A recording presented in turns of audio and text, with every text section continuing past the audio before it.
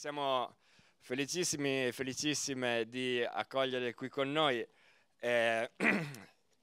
Francesca Gabriellini e Silvia Pizzirani, eh, co-curatrici eh, del volume che, abbia, che, ho qui tra le mie mani. È la prima presentazione in assoluto eh, di questo numero speciale, quindi a maggior ragione siamo contenti anche di vedere che c'è un'ottima partecipazione nonostante le condizioni atmosferiche non particolarmente favorevoli al camping. Allora, io sono Lorenzo Feltrin, modererò il dibattito e comincio subito chiedendo a eh, Silvia e Francesca sono, qual è la genesi di questo volume, qual è l'idea che vi ha portato a decidere di curarlo e quali sono i contenuti che i lettori e le lettrici possono aspettarsi. Eh, buon pomeriggio a tutte e a tutti, grazie mille Lorenzo per l'introduzione, grazie mille a tutte e tutti voi che state in questi giorni animando il Climate Camp anche con il, eh, con il meteo avverso e, mm, e grazie mille per l'accoglienza. E per cominciare a parlare di questa special issue, di questo volume speciale dedicato al petrolio, ehm, dico una parola su, su, come ce lo siamo proposte eh, io e Silvia, che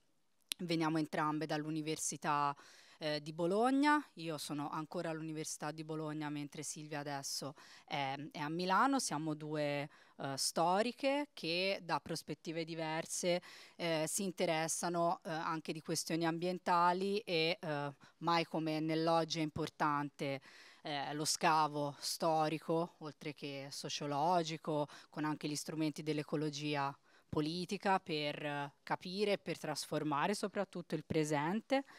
Um, e quindi dalle nostre prospettive differenti, eh, ormai eh,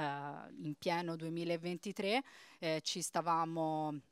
eh, ci stavamo appunto eh, interrogando sul fatto che, che, che, si avvicinasse questo cinquantenario prima, dal primo grosso shock petrolifero che il nostro paese, come, eh, co come tutto diciamo, il nord globale, appunto, ricorda come tale e che eh, forse per la prima volta aveva portato agli occhi eh, delle, de delle, persone, non solo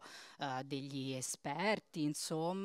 ehm, e, e non solo delle lavoratrici, di quelle lavoratrici e di quei lavoratori che nei propri luoghi di lavoro si stavano um, interessando, preoccupando e stavano lottando per, um, per, migliorare appunto le proprie condizioni di lavoro dal punto di vista ambientale. Ecco, eh, il primo shock petrolifero allarga eh, la, la, questione, la porta eh, sotto la luce di tutti e quindi l'idea insomma di, di questo, come dire, questa data simbolo ehm, ha dato origine al, appunto, al lavoro, alla, a proporre il lavoro per realizzare questo numero e per um, eh, appunto per cercare di eh, portarci dentro più e più sguardi, soprattutto di carattere storico e di riflessione storiografica, ehm, che appunto da questa, eh, da questa data eh, più o meno simbolica potessero eh, eh, aggredire il presente. Ehm, come ci abbiamo lavorato ehm, attraverso uno sguardo più multidisciplinare possibile. Ora do subito la parola a Silvia per magari entrare più nel dettaglio di questo aspetto, ma abbiamo voluto fortemente che una ricostruzione della storia del petrolio fosse una rassegna, fosse un approfondimento sulle storie del petrolio, che significa eh, geografie differenti, che significa soggettività differenti, ehm, in lotta per smarcarsi dall'egemonia non soltanto concreta eh, de, de, del combustibile fossile, ma anche da quella culturale di tutti i prodotti e sottoprodotti che dal petrolio si generano e che non c'è da spenderci troppe parole, insomma, costellano, innervano, caratterizzano profondamente la nostra, eh, la nostra contemporaneità. Quindi eh, nel volume di Zapruder troverete un, um, una storia, troverete come dire, una ricostruzione attraverso i nostri strumenti di, di, storiche, ma anche tante autrici e tanti autori che a partire dalle loro discipline hanno voluto contribuire insieme a noi a creare un repertorio di uh, storie geopolitiche, culturali, eh, a partire appunto dal petrolio come simbolo no, e non soltanto come appunto materia concreta. Grazie Francesca, grazie appunto eh, di averci, in, di averci appunto permesso di essere qua, di averci dato questo spazio e anche per me è la prima volta insomma, che vengo qua, è una realtà fantastica, devo dire. Quindi grazie anche a voi che la, che la animate. E, mh, sì, aggiungo giusto due cose a quello che ha detto Francesca. Di base uno dei presupposti da cui siamo partite è appunto, cioè una delle, delle, grandi domande è perché è così, fa, fa, è così, difficile immaginare anche una realtà oltre, oltre il petrolio, no? E proprio per capire questo, da, da questa domanda siamo arrivati alla conclusione che era necessario dare grande spazio alle prospettive anche culturali, perché il, il problema della,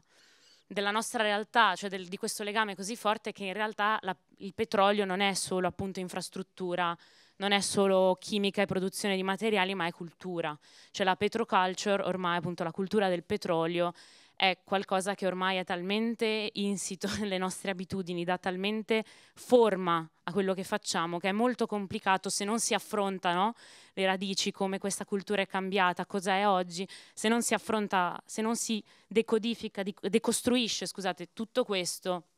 è, complicato andare oltre. Infatti, diciamo, nel nostro editoriale abbiamo a un certo punto citato ehm, questa studiosa di studi umanistici e ambientali, Stéphanie Lemenager, che lei dice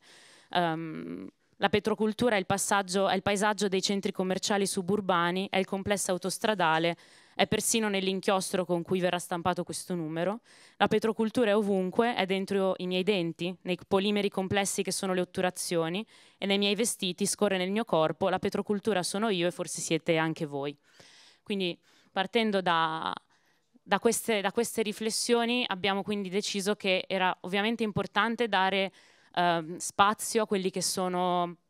i movimenti sociali e politici che si sono rapportati al, alla questione fossile, anche perché comunque Zapruder è una rivista di storia della conflittualità sociale, quindi per noi questo restava centrale, però ci interessava appunto eh, mostrare come ehm, la, pervasi la, pervasività della, dell'elemento petrolio anche da un punto di vista sociale e, e culturale e eh, volevamo anche in questo andare a ragionare sul petrolio nella sua diciamo, nel suo, nella sua duplicità di essere un simbolo della modernità, però essere anche un elemento antichissimo, no? Cioè questa ancestralità del petrolio che comunque nasce milioni di anni fa eh, in sottoterra, appunto per, grazie a questioni, um, a movimenti fisici, geologici enormi e antichissimi. E quindi questa ambivalenza che poi si sta, in certo senso, si traduce oggi anche nel, nel fatto che gli artefatti del petrolio, la plastica, sono i nostri nuovi fossili, no? Quindi che c'è anche una nuova archeologia ormai legata al, al, petrolio. Quindi queste sono alcune delle domande da cui siamo partite che poi hanno dato forma al volume e Zapruder ci è sembrato un posto diciamo, giusto in cui proporre questa idea perché i loro, i, loro, loro, i loro testi, se poi appunto volete dare un'occhiata e passarvi un numero così vedete un po' come è fatto, hanno, sono strutturati in modo che c'è molta l'interdisciplinarità, è molto possibile, si possono usare varie forme comunicative, il fumetto, le immagini, le analisi cinematografiche e quindi ci piaceva questa, questa idea qua, quindi questo, questo mezzo qui per portare avanti questo progetto. Eh, non so se possiamo dare qualche altro spunto sul numero e poi no, giusto per, uh, appunto, ri- per riprendere le, le, parole di Silvia e provare a fare una piccola carrellata di quello che si può trovare in questo numero. Eh, per darvi un'idea di eh, come l'interdisciplinarietà, come lo sguardo multidisciplinare ce lo siamo immaginate noi, perché poi sarebbe anche, cioè stato anche interessante nella discussione insieme alla redazione della rivista eh, vedere come a partire no, magari da un'idea da, da, dalle angolature proposte da noi per aggredire il problema, quante altre no, ne venissero fuori, quante altre fossero eh, possibili. Noi abbiamo cercato di concentrare nella prima parte, che è dedicata agli articoli Zoom, che sono gli articoli più lunghi come numero di parole, ehm, tre ehm, tre contributi che guardassero da un lato alla rappresentazione eh, del petrolio, in particolare nel cinema, quindi mh, dalla rappresentazione al legame tra produzione cinematografica e industria petrolifera, quindi dall'immagine, da, dalla struttura alla sovrastruttura andata e ritorno, si potrebbe dire. E poi abbiamo mh, abbiamo cercato di parlare anche in questo caso con questo movimento di mh, andata e ritorno dell'emersione e del sommerso eh, come elementi strettamente legati al petrolio. Per questo ehm, abbiamo, eh, abbiamo, voluto con forza un articolo sull'oleodotto Tanzania-Zambia, un'antropologa, Giulia Scotto, eh, un'antropologa urbanista, Giulia Scotto, ci ha accompagnato in questo suo lavoro di campo eh, lungo questa pi pipeline di fondamentale importanza per il trasporto ehm, del greggio, comple completamente invisibile visibile e se non si sa qual è il tragitto che percorre, ma così eh, presente e fondativa della società, eh, del mondo del lavoro, della cultura ehm, del luogo. Questo per parlare di quelli che possono essere gli, i, i, contributi, i contributi più lunghi. E come giustamente diceva Silvia, per, tra virgolette, onorare il più possibile eh, non solo la natura della rivista, appunto, rivista di storia della conflittualità sociale, ma anche per stare nel, nel presente, per uh, svolgere insomma anche la, nostra, la, la funzione militante del, del, sapere, molti articoli sono dedicati appunto ai movimenti sociali che eh, si stanno battendo contro la riproduzione del capitalismo eh, a trazione fossile. Um, c'è una sezione che si, che si, chiama Immagini, dove troverete il reportage fotografico e modificato di Maria Paola Marini, lungo il tracciato che amplierà il passante di mezzo nella città di Bologna. Questa questa grande opera appunto attorno all'ampliamento del passante auto, autostradale. E, e, Maria Paola Marini ha eh, come dire, eh, ha fatto insorgere la natura a, a, modificando le fotografie attorno a dove verranno impiantate le nuove pompe di benzina lungo, lungo il nuovo passante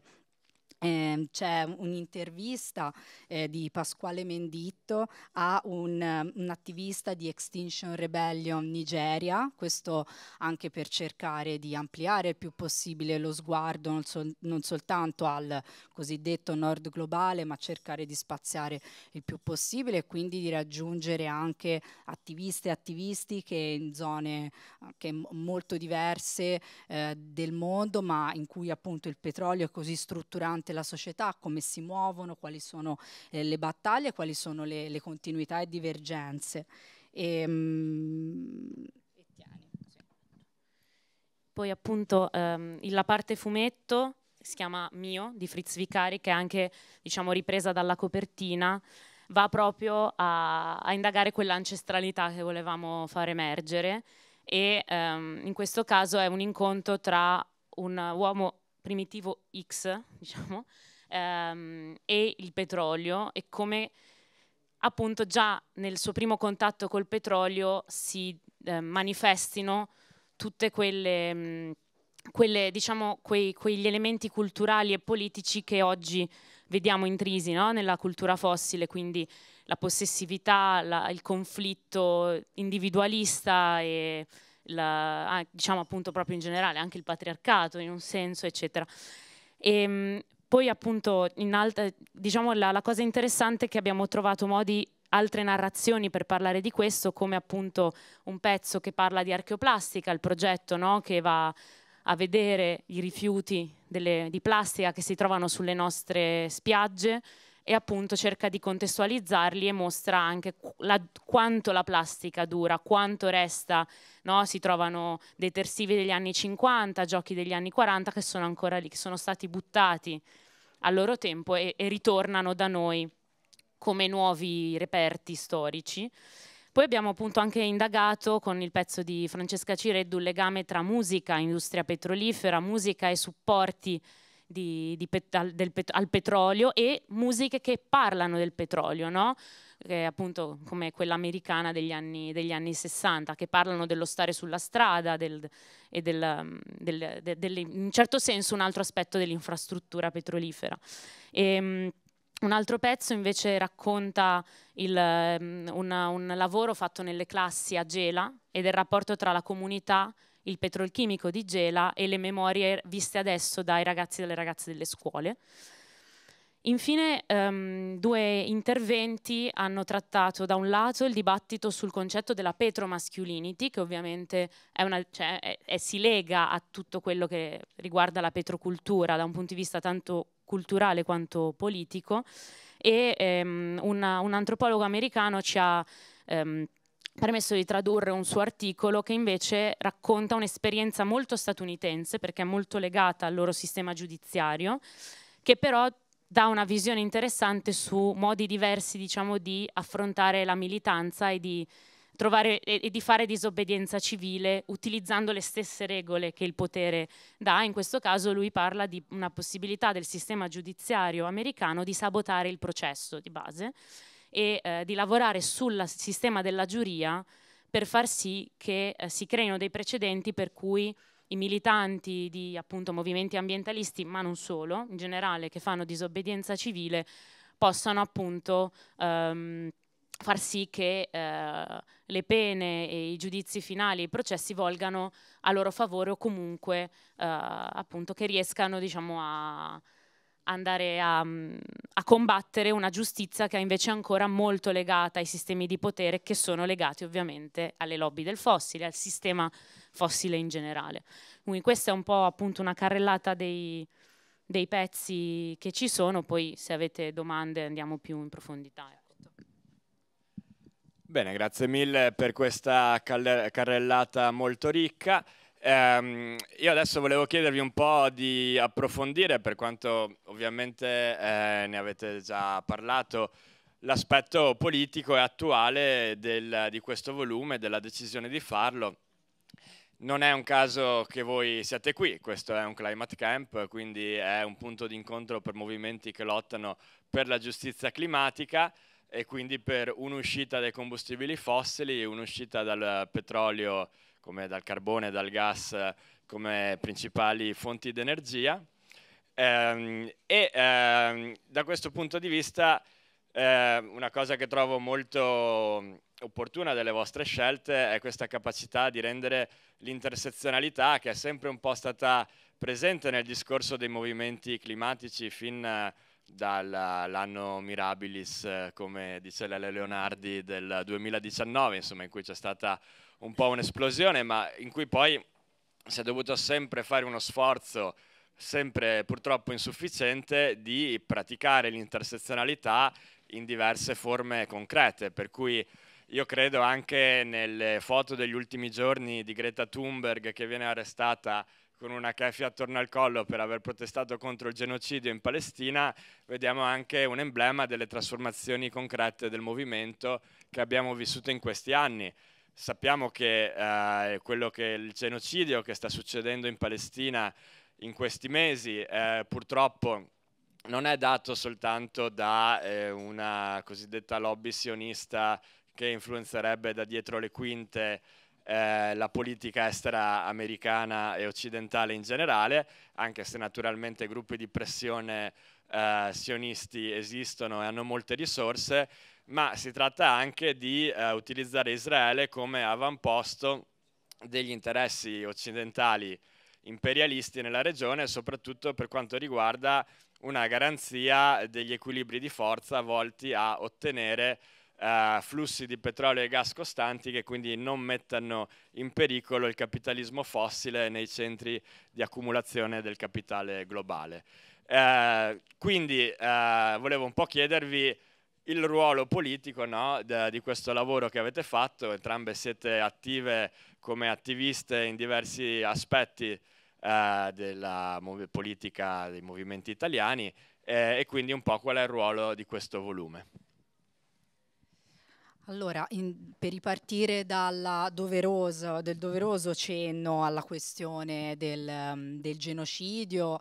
eh, tra l'altro proprio nell'introduzione eh, al volume abbiamo ritenuto necessario inserire un passaggio sul, sul fatto che la, la ricerca e l'estrazione di gas a largo delle coste di Gaza non è mai terminata durante tutto durante tutto l'immane tragedia che, che, si sta consumando. Sono son un po' in difficoltà a, parlarne e, e motivare. Ce lo dicevamo, abbiamo trascorso tutto il viaggio in macchina per raggiungervi a parlare della, de, fin, dell'ineffabilità a un certo punto. Invece è molto importante continuare a trovare sempre le parole della, de, de, della rabbia e della, e della richiesta di fermare, di fermare il genocidio. Ehm, quindi sì, abbiamo sentito fortemente il bisogno di inserire questo elemento. So, chiaramente l'introduzione non poteva ergersi solo su questo aspetto, ma è stato fondamentale per noi inserirlo per eh, appunto segnare che questo volume per noi significa soprattutto la possibilità di essere qui e di poter organizzare altre presentazioni in altri spazi come di, di movimento e, alla soglia appunto di altre occasioni di mobilitazione e di utilizzarlo come appunto quasi come una scusa in qualche modo per costellare la, eh, ancora di più l'agenda dei movimenti per la giustizia climatica e sociale che eh, speriamo si possa eh, riempire e radicalizzare anche eh, sempre di più. Mm, dentro il numero probabilmente eh, l'articolo che più eh, ci ha permesso di... Um,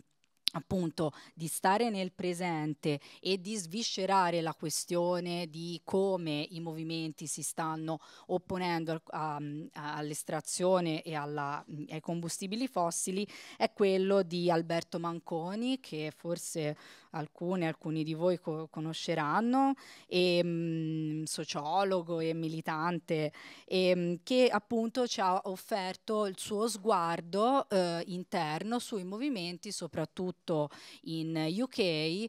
da Just Stop Oil a Extinction Rebellion a Fridays for Future, proprio anche, come diceva eh, Lorenzo, per continuare a eh, tenere i riflettori accesi sulle eh, varie modalità di organizzazione organizzazione eh, dei movimenti per la giustizia climatica e sociale, come questi eh, sono esplosi, come si sono dati continuità, quali battute di arresto, limiti, criticità hanno incontrato e quindi da lì nuove strade da battere, da percorrere per, ehm, per, proseguire, per proseguire, la lotta. È un articolo che eh, si basa su eh, interviste fatte in un'esperienza di campo piuttosto, piuttosto lunga e che fra quelli, ehm, appunto, tra quelli che ospitiamo, mh, mm, credo sia un po' quello che mi sembra di consigliare di più rispetto alle questioni più organizzative dei movimenti. E per chiudere un attimo su, sull'intervista, intersezionalità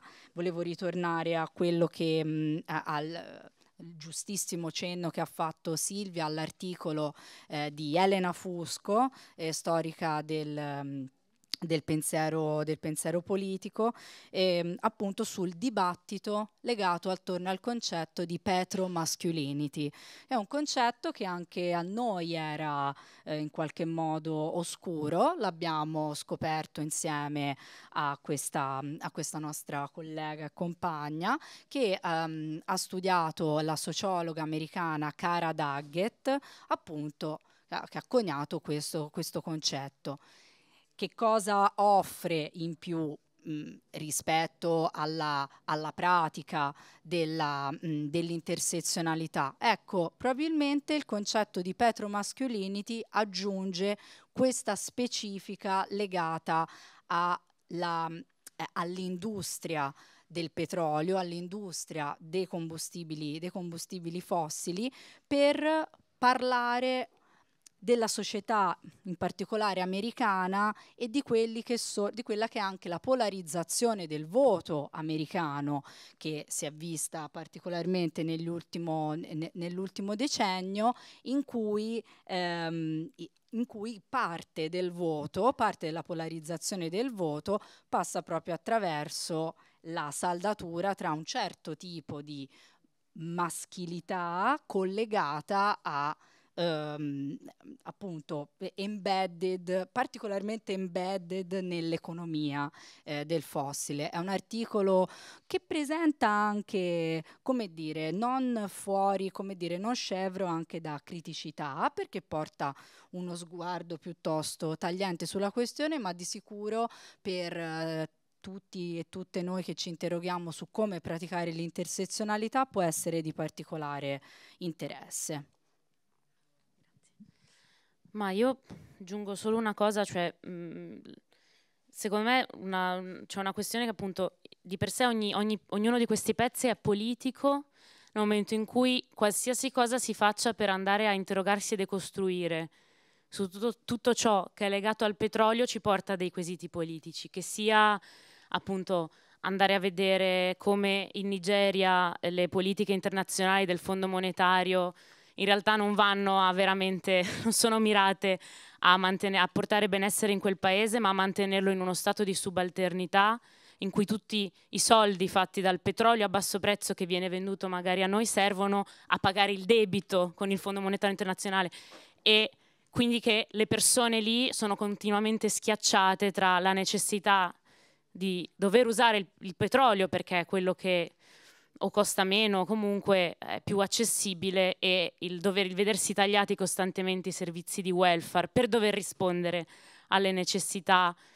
necessità del, del, delle, delle, delle, sovrastrutture internazionali. Questo è ovviamente politico, però anche un, il pezzo, ad esempio, in cui si parla del design oltre il petrolio negli anni 70 ci mostra come ehm, in realtà non c'è nulla di ovvio nella nostra società di oggi, cioè che in realtà anche negli anni 70, quando nella vulgata di oggi si, pensi, si dice che ma all'epoca chi è che ci pensava a queste cose? In realtà no, cioè in realtà molte persone, in questo caso abbiamo visto dei designer, ma non erano solo loro, tante persone in, vari, in diversi luoghi della società e del mondo stavano già riflettendo su come andare oltre quella società fatta in quel determinato modo, come andare oltre nel proprio stile di vita che però si legava a, uno, a un qualcosa di, che andava oltre il proprio stile di vita singolo, cioè come modificare la nostra quotidianità in modo da modificare no? uh, un, in, un, sistema industriale e politico molto più grande, cioè c'era già, c'erano degli interrogativi, c'era anche qualcuno che aveva dato delle risposte e quindi tutto questo serve a capire qual è stata la controffensiva che invece ha portato a un'affermazione di una cultura petrolifera in cui Reagan è uno dei capostipiti, ma non c'è stato solo lui, cioè che invece affermava la necessità di mantenere un sistema legato al fossile, no? ma legato al fossile anche appunto da un punto di vista culturale, cioè per gli americani l'accesso alle autostrade, all'automobile, a un certo tipo di cultura fossile era legato al proprio mantenimento di uno stile di vita di cui loro avevano diritto come americani, come cittadini del, no, della più grande democrazia del mondo, eccetera, eccetera. E la cosa che è interessante è che se si va a vedere questo, cosa si vede? Che in realtà il mantenimento di un sistema legato al fossile era necessario al mantenimento di un certo sistema internazionale perché per quanto Carter non sia stato particolarmente incisivo, però lui voleva dare una diversa un po' direzione anche in politica estera agli Stati Uniti, cosa che non era accettabile da un certo punto di vista, perché la subalternità di un certo pezzo di mondo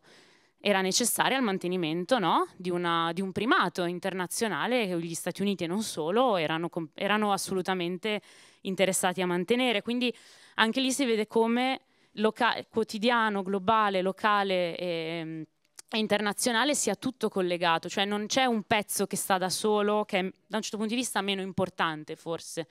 E quindi in questo senso, secondo me, la, anche la politicità di, di, questo libro per oggi è appunto continuare a ricordarci anche la non inevi inevitabilità dei, dei processi e di quanto ogni narrazione debba essere decostruita perché dietro al, al, messaggio, ad esempio in questo caso dicevo di Reagan, di dire gli americani hanno diritto a mantenere il loro stile di vita perché siamo il popolo più democratico, più libero, eccetera, ci sta in realtà dietro dire noi abbiamo bisogno di avere una scusa per mantenere il controllo su certe zone del Medio Oriente, per mantenere no, una certa politica degli armamenti, eccetera, eccetera. Quindi boh, io quello che ho da dire penso sia un po' questo. Esatto. Bene, grazie mille. E parlando di lotta contro il genocidio a Gaza, tra l'altro vedete alla vostra destra le foto delle mobilitazioni recenti a Vicenza, che come è stato ricordato anche nel corso di altri dibattiti, è una città eh, particolarmente interessata dalle eh, manifestazioni locali dell'imperialismo globale a causa della lunga presenza delle basi militari americane qui, delle lotte contro la loro espansione, della presenza più volte all'anno della Fiera dell'Oro dove sono presenti aziende multinazionali anche israeliane, ma non è che le altre siano particolarmente etiche, diciamo, eh, che quindi si occupano di estrattivismo, poi addirittura per la produzione di beni di lusso, quindi in un uh, livello di assurdità, se vogliamo, in certo qual modo anche superiore. Um, ma poi quando parliamo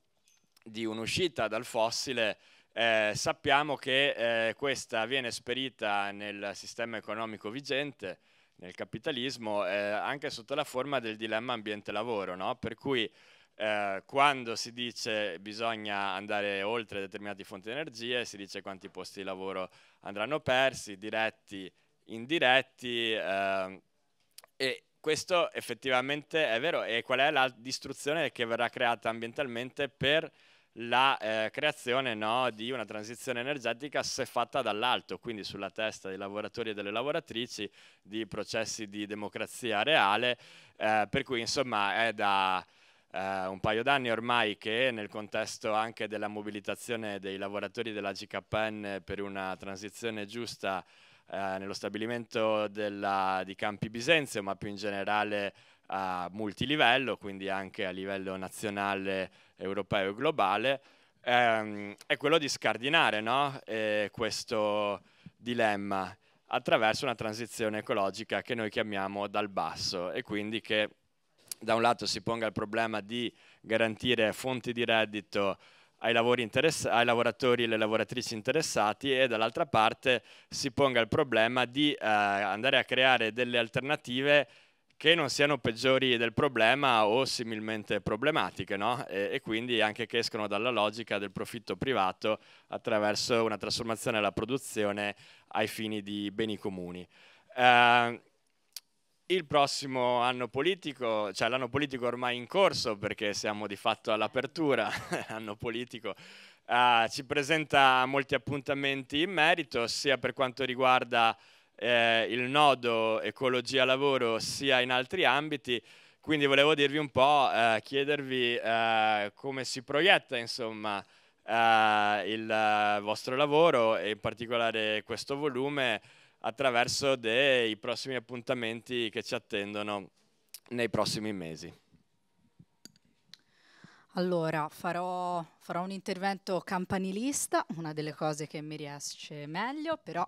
D'altronde aver nominato eh, la militarizzazione dei, mh, dei, territori, come hai appena fatto, mi impone di, eh, co- come dire, tra le prime date da menzionare per, per, l'autunno, che speriamo come al solito sia molto caldo, appunto ce n'è una che interessa la città da dove vengo, che è Pisa,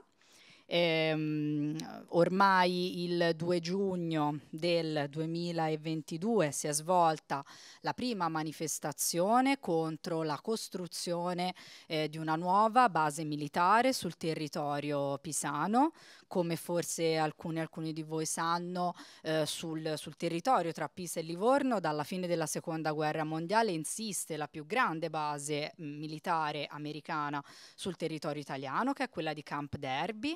Uh, non paghi, l'idea è quella di ehm, tenendo all'oscuro le cittadine e, e, i cittadini fino appunto a un paio di anni fa, soltanto un, un, un, lavoro instancabile dentro e fuori il Consiglio Comunale ha fatto sì che si, si scoprisse questo progetto. Insomma, il nuovo progetto è quello di impiantare una, una base militare per i corpi speciali dei carabinieri, il cosiddetto battaglione Tuscania ed altri corpi speciali, in un'area ehm,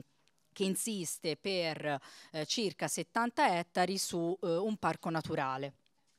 Un'altra parte più diciamo burocratico operativa insisterà eh, sulla città di Pontedera che è a una quindicina di chilometri di distanza. E, ehm, mh, non, come dire, si parla di eh, di militarizzazione dei territori, si parla di eh, occupazione eh, di territori protetti, eh, si parla di economia di guerra.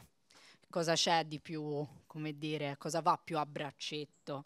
Con l'economia di guerra se non quella del, del petrolio e, e, dei combustibili fossili. Um, per questo sarà molto importante per noi e lo stiamo mettendo in cantiere fare una presentazione del numero di Zapruder a Pisa proprio in questo crescendo verso la manifestazione che si terrà il 26 ottobre ci sono già alcuni riferimenti sui social del movimento No Base, né a Coltano né altrove, che Coltano è la frazione, insomma, che dove la parte più grossa della base verrebbe, verrebbe impiantata, una base che tra l'altro drena 500 milioni di euro al fondo di coesione sociale, quindi a quello de, degli asili nido, delle scuole eh, dell'infanzia, eccetera, eccetera. Ehm, una, una, grande opera di morte, violenza e guerra inaccettabile sul territorio che per fortuna ha,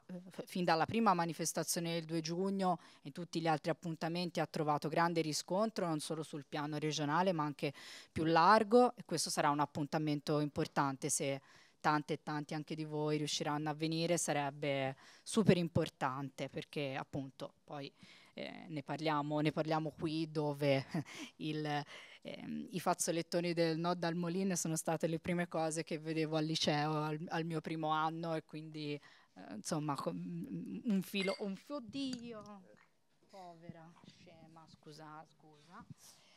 E quindi niente, lottare contro, contro questa ennesima base militare sul territorio italiano si, si, penso si leghi strettamente a questo, um, a questo, lavoro più storico di ricostruzione che, che facciamo anche più che, che facciamo in, in, questa sede. E, su, posso fare l'ultimo cenno, ma tanto per fortuna avete avuto eh, il bell'incontro con eh, i lavoratori della GKN all'inizio del camp e la tre giorni dell'11-12 e in particolare il 13 ottobre sarà fondamentale per dare finalmente gambe al progetto industriale. Il lavoro della reindustrializzazione soprattutto quest'anno è stato davvero, davvero intenso, con tantissime battute d'arresto, soprattutto sul piano istituzionale, regionale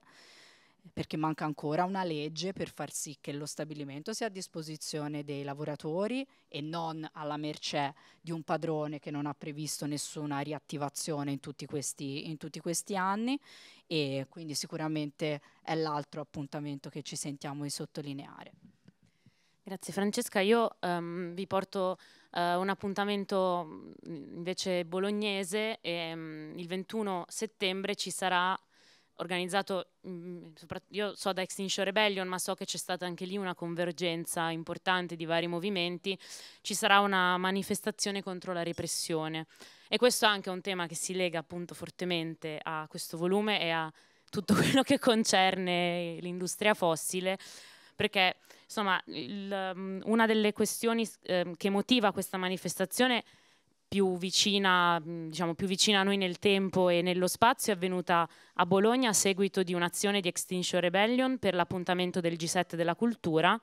cui attivisti e attiviste hanno eh, srotolato uno striscione dal Palazzo Comunale che appunto recitava um, oddio, la, la, vostra tecnologia. Oh scusate ho un, un, vuoto però mi pare fosse la, la vostra tecnologia la, nostra, la nostra morte insomma qualcosa che appunto andava a evidenziare sempre queste questioni qua no? una transizione um, dettata dal, dal, dall'alto la, una scienza che è messa a disposizione no? uh, della, della, militarizzazione del, del fossile eh, o comunque anche di innovazioni che però hanno come no, obiettivo fondamentalmente rafforzare, cioè concentrare la, il capitale in chi già se lo sta concentrando e non la redistribuzione. Ecco. E quello che è successo è che um, molti sono stati arrestati, ma in particolare quella di Extinction Rebellion, che era, diciamo, aveva il compito di dialogare con la polizia, è, è stata sottoposta a non solo um, eh, appunto procedure umilianti ma anche illegali perché non le è stato chiesto, lei ha chiesto costantemente di avere un avvocato durante l'interrogazione, la perquisizione che è avvenuta facendola spogliare nel bagno della questura, è stata fatta piegare, è stato chiesto di fare cose e lei continuava a chiedere l'avvocato, non le è stato concesso e dopo nella deposizione che le stavano per far filmare c'era scritto le abbiamo chiesto se voleva un avvocato, lei ha detto di no. Quindi insomma tutta un'altra serie di questioni hanno portato questa attivista a esporre una denuncia e adesso sono in moto una serie di cose, ma eh, questo è un, un, ennesimo caso in cui si mostra anche una, una grande, non solo un abuso della, de, del, del, del proprio potere repressivo, perché poi sono stati mandati tantissimi fogli di via a ragazzi che, ragazze che studiano, vivono lì e che fondamentalmente sì, dal punto di vista della legge hanno commesso un atto no, di disobbedienza civile, un atto uh, appunto che può essere visto come problematico, ma la cui, diciamocelo, la cui gravità, eh, cioè da un punto di vista del motivo per cui sono nati anche i fogli di via, è decisamente sproporzionata. Quindi un grande abuso di, di potere, poi ovviamente appunto grande, il grande doppio pesismo, no? Uh, ipocrisia nel denunciare atti di disobbedienza civile in maniera anche se, incredibilmente proprio condannandoli questa mh, criminalizzazione di questi atti che si sta vedendo anche nella produzione legislativa recente, no? col decreto anti-Gandhi, come è stato chiamato, e invece la completa impunità di quando questi gesti illegali vengono fatti appunto l'estrazione a largo di Gaza è un'estrazione in cui sta partecipando anche l'ENI ha avuto delle concessioni, concessioni, è un'estrazione illegale dal punto di vista del diritto internazionale perché quelli sono territori palestinesi, ma quelle eh, multinazionali stanno estraendo per Israele, non per la Palestina. Quindi questo è uno dei tanti esempi perché poi già di base tutto quello che stiamo vedendo, non negli ultimi mesi ma negli scorsi 70 anni, comunque c'è un costante divieto, eh, violazione del diritto internazionale oltre che dei diritti umani che continua a restare impunita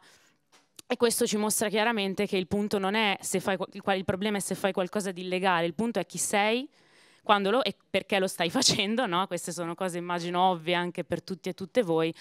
però appunto questa manifestazione anch'essa penso si leghi fortemente, intanto appunto va a parte da, questo è uno delle tante, degli tanti eventi che l'ha fatta diciamo partire, però si lega a tutto quello che è il, la, il rapporto tra politiche, istituzioni, polizie, forze repressive e movimenti e movimenti dal basso ed è fondamentalmente legata anche questa al, al rapporto tra sistema attuale, sistema produttivo industriale attuale e appunto le istituzioni che usano anche la forza repressiva per mantenerlo. Bene, eh, vi ringrazio, direi che siamo giunti a quel momento della presentazione in cui il pubblico può scatenare la propria creatività, eh, di conseguenza se ci sono eh, domande ma anche commenti che volete rivolgere alle nostre due ospiti, vi invito a prendere la parola e avvicinandovi al microfono. Prego. Guarda nella telecamera. Oh, vabbè, non potevo... Vabbè. No, cioè, sono contento che, eh, cioè, del, del, piglio del, del libro, eh, soprattutto per la connessione con la cultura, no? Con tutto quello che eh, produce senso. Okay? E, mh, mm, volevo chiedervi se eh, mh, continuerete nel, nel, nella ricerca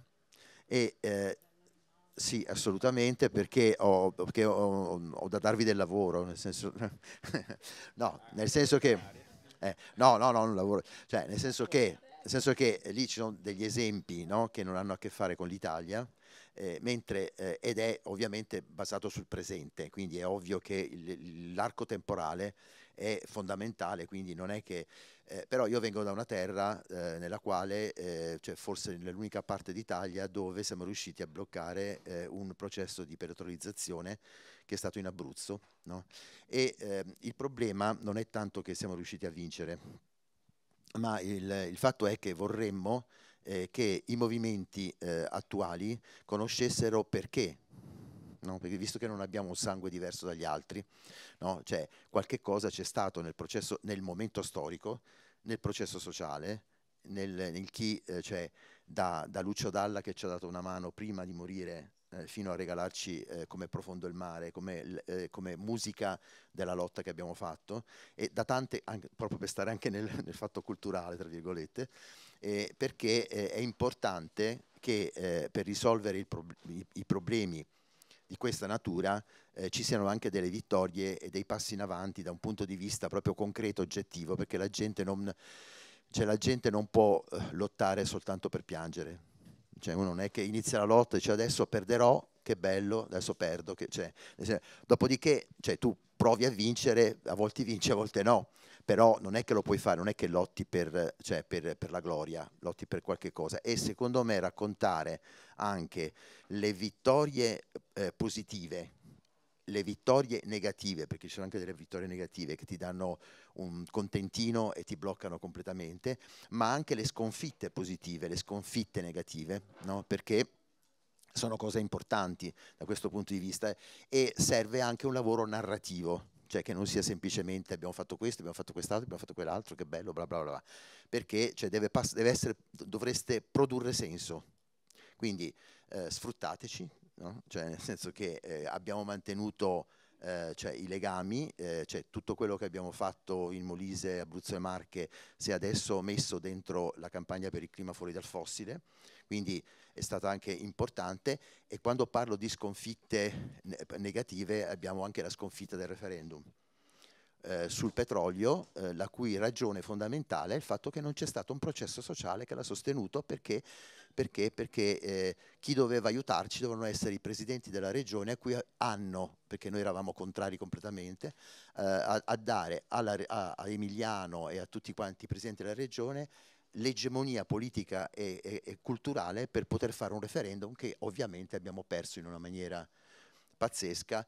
facendo tornare indietro anche la lotta dei 60.000 di Ombrina che ci avevano fatto vincere. Quindi ecco, cioè, sarebbe bello sapere anche, cioè far conoscere no? e ragionare su, perché non si finisce mai di ragionare, su queste dinamiche sociali perché secondo me sono molto importanti. Però visto che avete fatto bene, io insomma, non l'ho letto, non ho fatto in tempo a leggerlo, ma c'è già il taglio così, ho detto mm, questo mi piace, eh, no? eh, cioè, potrebbe essere importante, quindi insomma se volete il lavoro c'è.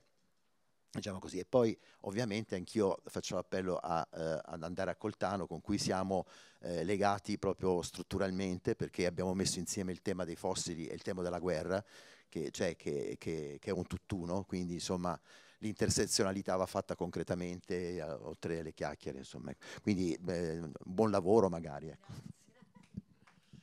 Grazie. Eh, allora, io raccoglierei un altro intervento o due se ce ne sono, prima di restituire il microfono alle nostre ospiti. C'è qualcosa all'orizzonte? Mi pare di no. Quindi prego, intanto se volete insomma, fare un commento. Allora, noi siamo due precarie della ricerca, non l'abbiamo detto all'inizio, quindi chiunque ci voglia dare un lavoro è benvenuto e benvenuta. Ehm, mi sembra tutto giusto quello che, che ci ha detto e tra l'altro su Ombrina, movimento delle mamme di Manfredonia, um, aiutami Silvia, non gela ma cosa c'è in Sicilia? Me, mm, comunque un'altra serie di ehm, proprio rispetto al ragionamento vittorie, sconfitte e poi le terre di mezzo. Il, mh, un, è uscito la, due anni fa un altro numero di Zapruder che si intitola Ambienti ostili, quindi sempre fatto con questo schema, che può essere può essere interessante proprio rispetto a queste, a queste tematiche. Infatti alcuni, um, alcuni focus che ci, che ci avrebbero, sarebbero stati interessanti da inserire, da inserire, nel volume. Erano già stati ripresi da, questa, da, questo, da un altro numero della rivista e quindi insomma anche su quello abbiamo fatto delle scelte, però sì, eh, sicuramente nella, anche nel lavoro di ricostruzione storica e poi di divulgazione, che insomma è quello che cerchiamo un, un po' di fare l'altra faccia, cioè come dire, la, l'altra faccia della, um, dell'attraversare spazi come questo e quindi legarsi a dei movimenti reali è di tornare indietro e raccogliere quegli elementi che possono ancora, cioè che possono essere utili per i movimenti dell'oggi e quindi per, come dire, per, per popolare e ripopolare le nostre cassette degli attrezzi quel pezzo di ragionamento su, soprattutto sull'Abruzzo in effetti meriterebbe un perché forse su um, diciamo sul, um, sulle esperienze marchigiane forse ci sono degli studi sociologici che un po' di più si sono concentrati però sì sicuramente è un campo da, da percorrere da, da battere. Grazie. Io aggiungo solo una cosa che mi ha, fatto, mi ha fatto ragionare il suo intervento per, eh, ed è un articolo di David Graeber in cui lui ragiona proprio sull'importanza di riconoscere quando si ha vinto, no? ogni tanto, che è uno dei problemi anche, anche che hanno, lui parla dal suo punto di vista no? Del, di Seattle, ma poi anche Occupy Wall Street, in cui lui, noi, siamo noi siamo il 99%, no? in cui lui era, era dentro, e diceva c'è questa grande a volte narrazione della sconfitta da cui siamo schiacciati e non ci rendiamo conto che ogni tanto, cioè per quanto le cose ancora no, vanno male, cioè lui dice ancora le cose vanno male, ok, però cioè, il nostro attivismo ha portato a dei successi e delle vittorie, poi lui appunto in questo articolo fa, eh, fa degli esempi, ad esempio di un'azione contro il Fondo Monetario Internazionale che, aveva, che era effettivamente riuscita, era stato bloccato eh, un iter, adesso non me lo ricordo bene, l'ho letto due anni fa, tipo questo articolo, eh, però appunto dice ogni tanto questa è anche un'arma che forse viene usata contro di noi, no? il, il, farci sentire sempre sconfitti non ti rendi così conto però che se li hai vinto, allora forse no, eh, si può vincere ancora eh, utilizzando, seguendo una certa strategia o comunque eh, diciamo scusate il termine brutto, capitalizzando meglio su quella vittoria. Cioè, quindi ho pensato proprio a quello che in effetti a volte mh, è, è, complicato anche, intanto è complicato perché in effetti le, le, le sconfitte a volte sono tante e, e, ovviamente pesano, però che è molto vero quello che dice lei, cioè che è importante anche ragionare sulle vittorie, anche le vittorie a metà, per, non, per appunto avere anche un'analisi migliore di quello che di quello che si è fatto e rivalutare le proprie strategie in quel senso, senza che questa analisi sia una glorificazione fine a se stesso, ovviamente, dire, beh, oh, sono stati bravi, buona giornata. Esattamente.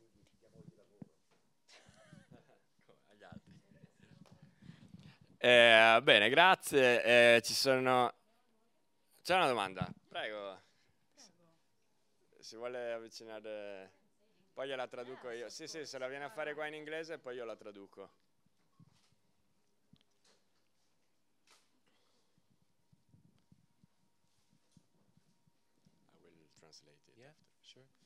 Mille grazie.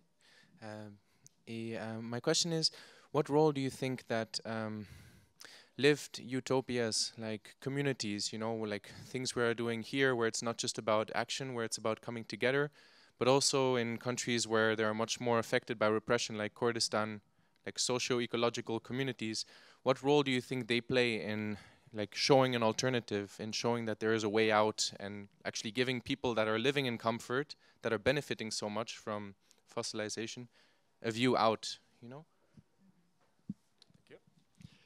Ehm, ha chiesto quale ritengono che sia il ruolo eh, delle utopie reali, eh, quali può essere questo spazio qui, ma come anche può essere il Rojava nel Kurdistan siriano, eh, per eh, mostrare alle persone, eh, sia quelle colpite dall'estrattivismo petrolifero, ma anche quelle che vivono diciamo, relativamente comode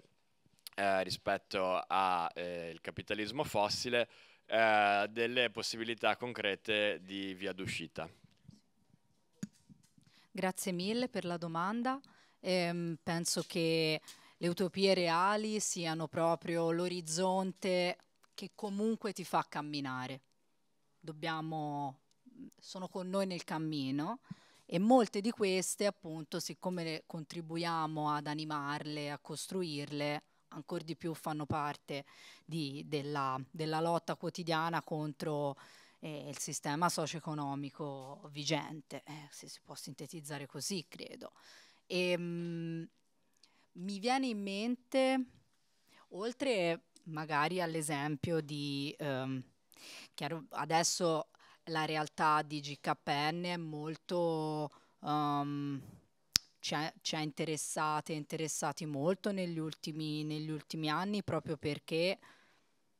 attingendo a, dei, uh, a, a delle sperimentazioni di autogestione del posto di lavoro, autogestione del lavoro e anche proprio di ripensamento di un'idea di lavoro, forse diciamo nell'oggi può essere, o almeno per me è forse l'esempio che appena magari mi viene, riv- viene rivolta una domanda del genere, forse la prima luce che mi si accende nella testa, ma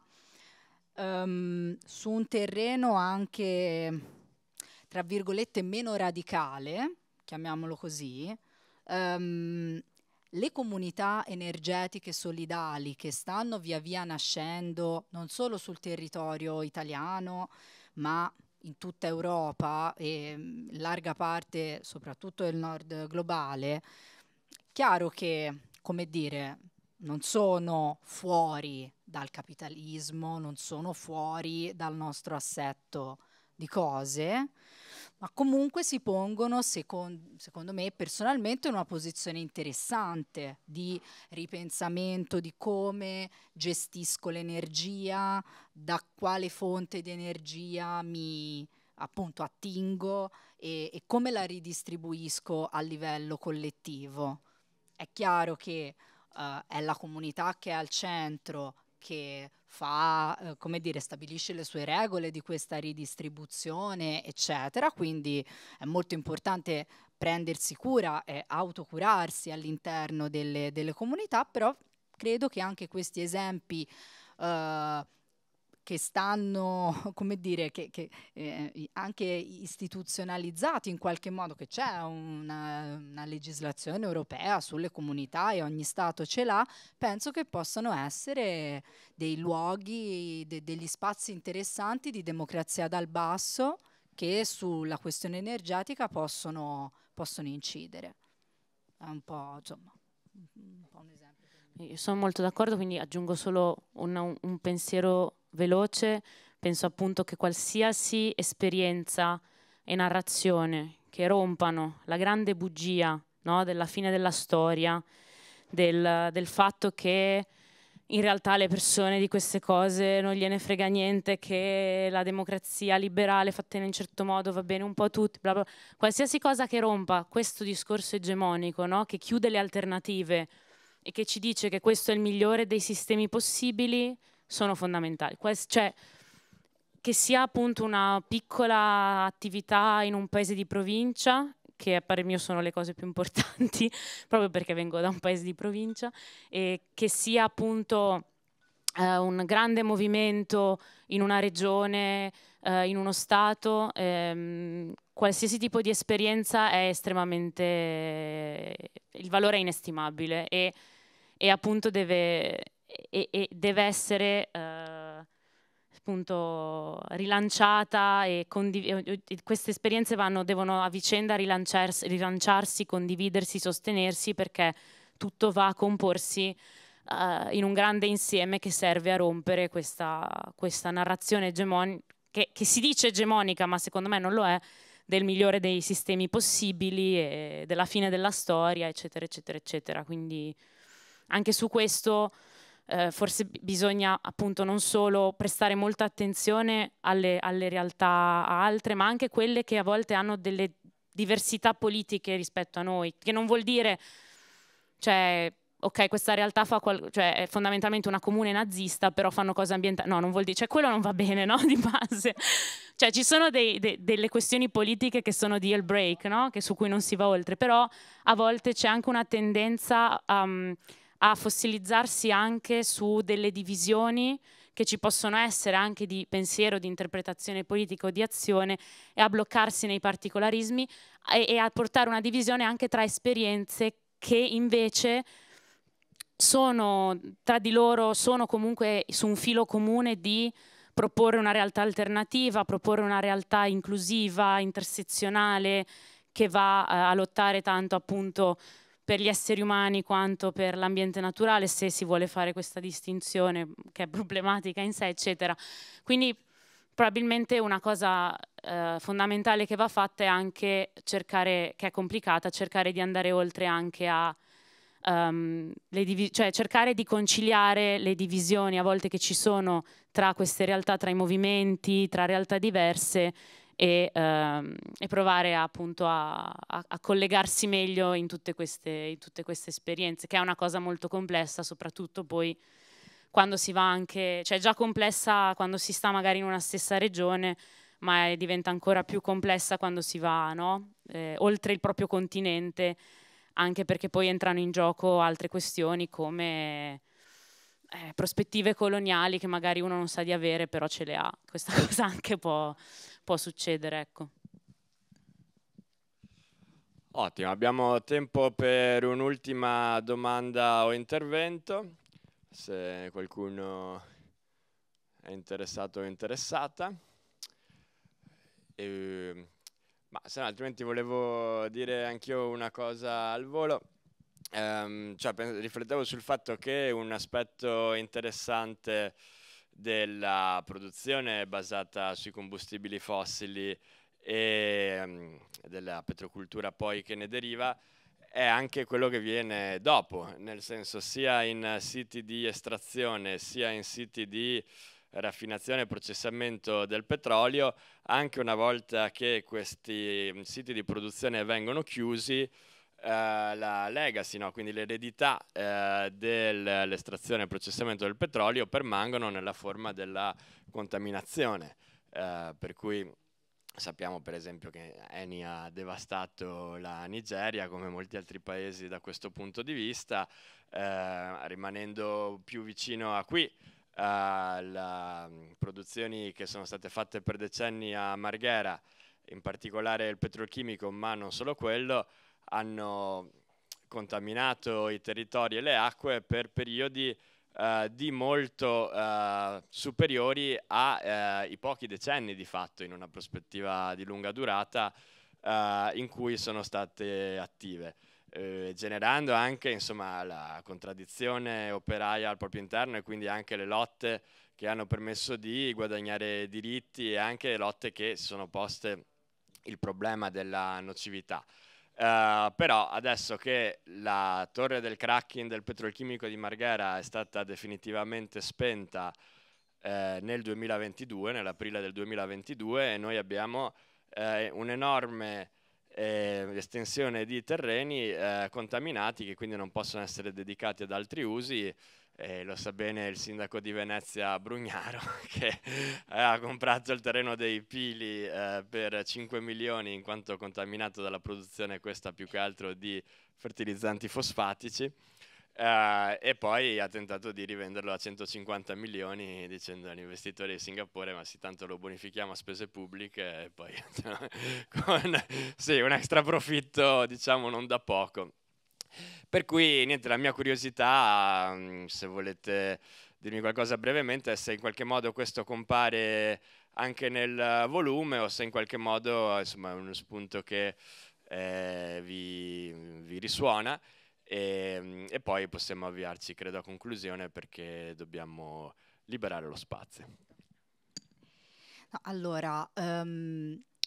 gli, gli, illuminanti contributi di un sociologo trevigiano, Lorenzo Feltrini, non so se lo conoscete, sul concetto di deindustrializzazione nociva. Sono li abbiamo ben presenti, non popolano particolarmente il numero purtroppo perché nel numero di Zapruder uh, precede, due, tre numeri precedenti, ambienti uh, ostili, beh, viene trattata in maniera più specifica sia la questione del petrolchimico uh, di Marghera, sia, non mi sta venendo in mente purtroppo il nome del, del petrolchimico di, di Augusto, oh, di Priolo, Priolo, quindi Augusta Priolo in Sicilia, um, e quindi in, quelli, in quei contributi emerge um, ehm, emerge molto di più che cosa significa eh, la lunga durata della nocività nei luoghi prima deputati alla produzione, successivamente questa cessa, che cosa resta, che cosa succede dopo. Um, appunto sono, c'è un numero in cui se ne parla maggiormente. Tra l'altro uh, una, una, situazione del genere um, si, si sta, sta, per precipitare su un altro um, polo di raffinazione eh, piuttosto importante, non grandissimo, ma insomma quello della Stanic di Stagno alle porte, alle porte di Livorno, per cui è previsto, no, non è ancora previsto nessun piano di, eh, né di eh, come si dice, transizione ecologica nel momento in cui verrà del tutto eh, spenta la parte del cracking, né eh, un piano di Ehm, di, di, riqualificazione, di, eh, come si suol dire, di reskilling del, di chi eh, lavora nell'impianto per andare ad occuparsi di altro. Quindi sono fenomeni, per non parlare ora uscendo un attimo dal petrolio per non andare su, in altri comparti come può essere quello dell'acciaio che anch'esso vede sul territorio italiano mh, mm, la, proprio la molteplicità, cioè l'intreccio di tutte queste molteplicità di problemi,